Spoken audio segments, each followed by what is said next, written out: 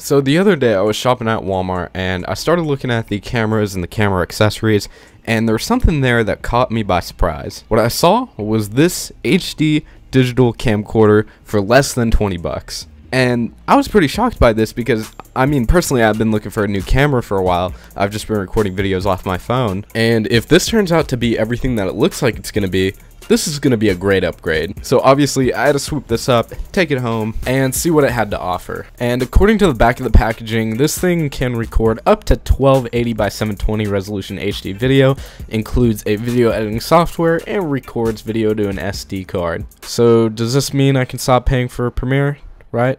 So of course it was time to unbox this bad boy. Now unfortunately this thing came in one of the worst forms of packaging, the kind of plastic packaging that you just have to take some scissors and pulling to. But after a few moments of working on it I was able to get it out. And well inside I got the camera, I got a file transfer cable, and there was an instruction manual which you should probably just eat this. So next thing I just slid in some batteries, slid in an SD card. When turning it on I was welcomed with a very nice musical note. And just by looking through the viewfinder, I could already see that this thing was not going to disappoint. And without a further ado, it was time to hit record.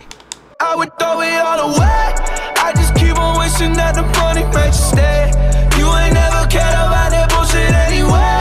I just keep on wishing that the money made you stay. Does this thing have a microphone? Okay, so I realized that I might have put this thing in a really challenging situation as the lighting in my room really sucks. So maybe I just needed to take this thing outside to show its full potential. And well, let's uh let's see what happened.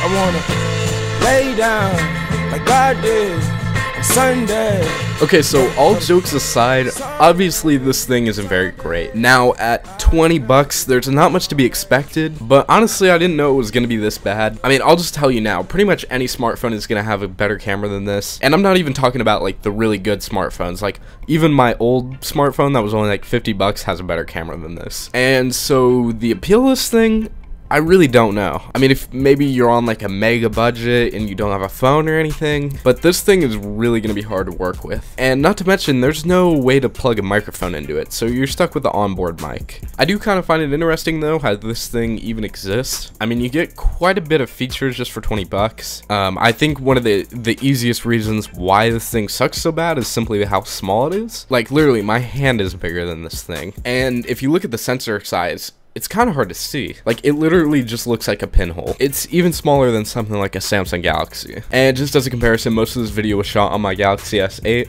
which obviously isn't the best camera in the world, but it's miles better than this one. But yeah, this thing is just kind of interesting to me. I mean, obviously you should save your money. $20, you could get like 80 nuggets at McDonald's. Yeah, I would rather, I'd much rather have 80 nuggets than this camera right now. And uh, I never actually looked at the video editing software that came with this thing. I'm a huge fan of Premiere, and uh, although it's it's tempting to go to something free, I, I'm just not to bother, honestly. So, my conclusion of this thing is it's bad, and it's not worth the $20. Like I said, go and get yourself 80 nuggets. If you are on a really tight budget though, I assume there's better options even at like 50 bucks. Or if you really just want something like crappy that you can just throw around and destroy, I guess this would work. But yeah, definitely 80 nuggets is the way to go.